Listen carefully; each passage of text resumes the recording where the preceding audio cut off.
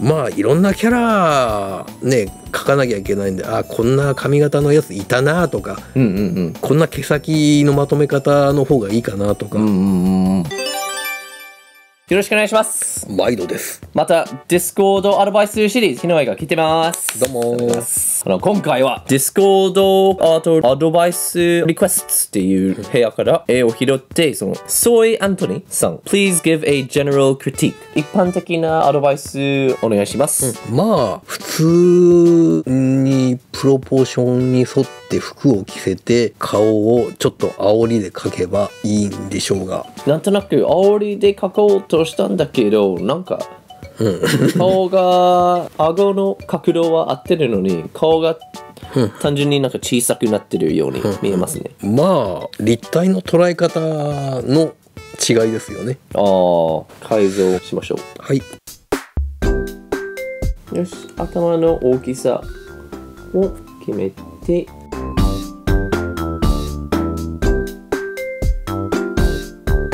そして耳の位置も決めて上を向く時にその耳の位置が少し下がりますよね、うん、まあまあここが ねこんな感じにあーあそういうわけ。ああ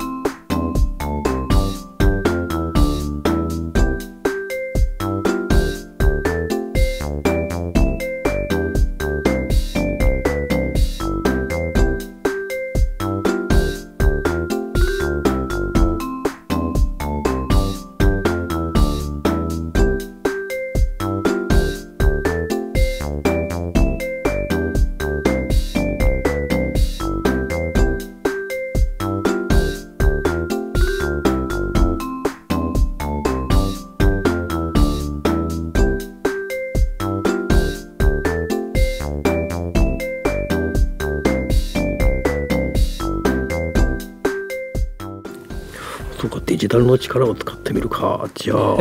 何が不満でしたか？ん？全体的に上だったかなって揃えていったら、体直すより顔直した方が早いかな。うんうん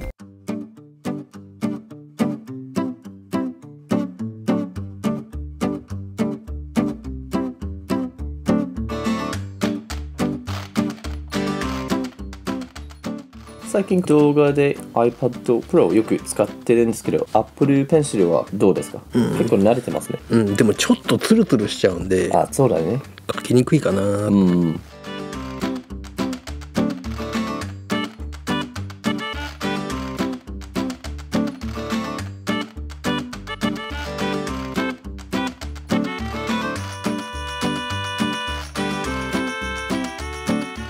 やっぱりこの角度だと前髪の方がもっと見えますね。後ろより、うん。まあ、後ろっていうか上上の髪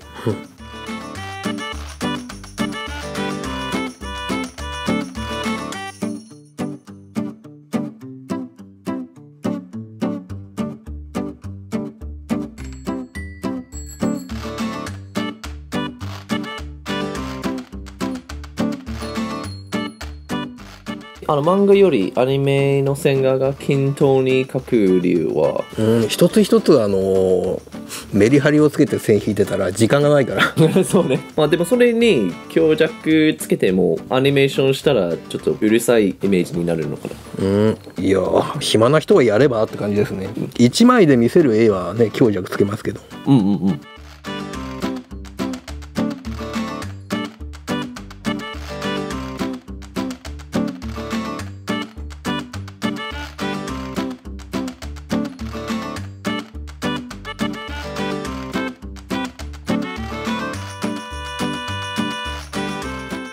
いいね交際とまつげの間になんか白い目が見えるとさらになんか怒ってるように見えますね、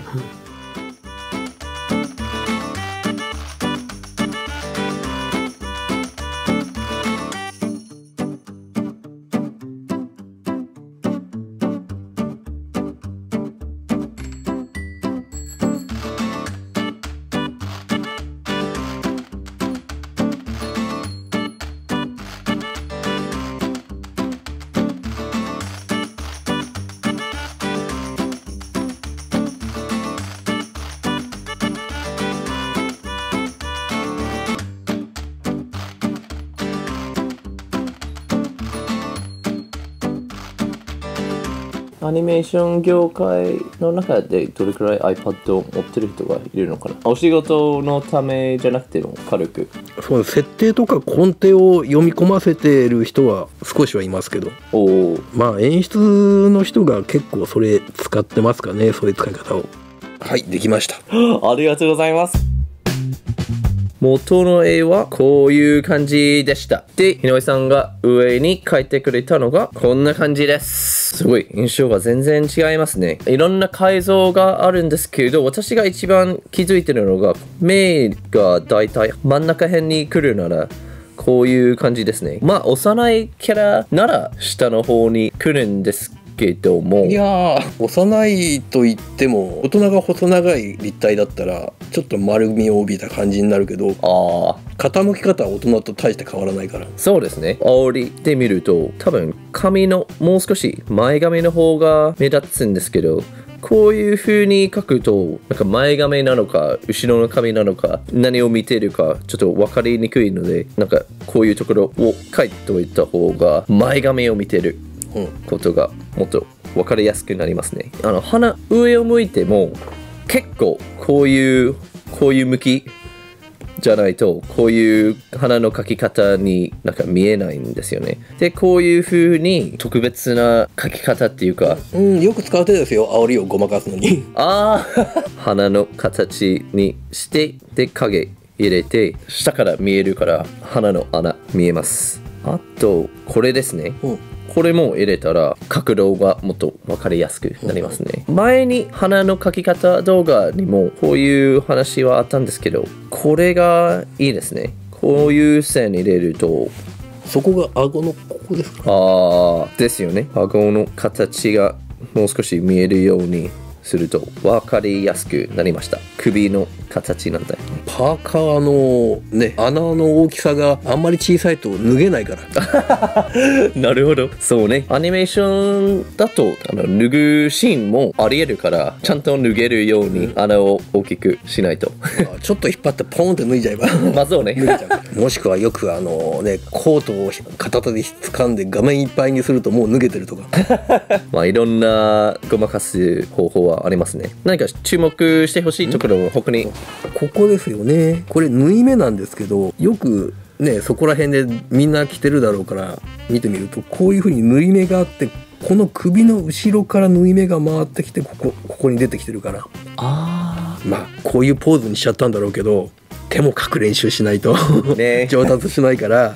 あとはいろんなシワの入り方があるからこのパターンっていうのがあるから覚えておくとまとめやすいと。私一番気に入った形はこれですね。なんかこれが直接に来てるのに、これがなんかこういう丸みだとすごいそれっぽい。シワの入り方はちょっとあのひねってたりするから。うん。ああ。それで入るシワなんですよ。じゃあそれを意識しながら。そうですね。えー、いいですね、単純に集まってるわけじゃなくてちゃんとひねってますね、あとあの髪型はすごい綺麗にかっこよく描いたんですけど何かアドバイスありますか、まあいろんなキャラね描かなきゃいけないんであこんな髪型のやついたなとかうんうんこんな毛先のまとめ方の方がいいかなとか、うんうんうん。うんアントニーの絵とヒノエの絵と比べたら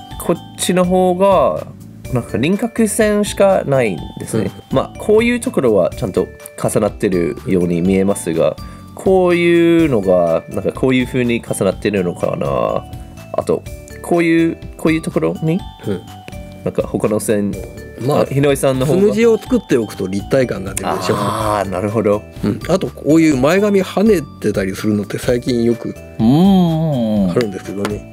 あとは影の入れ方次第で結構立体感あるように見えちゃうんで。うんうん。首に入れた影はこういうところとこういうところ、うん。でなんで全部塗りつぶさなかったんですか？ねああそれだとくどくなっちゃうんでうん。あこの後に色をつけるとなるとここは影の色塗るんであそれはそれで十分だから。バランス考えながら。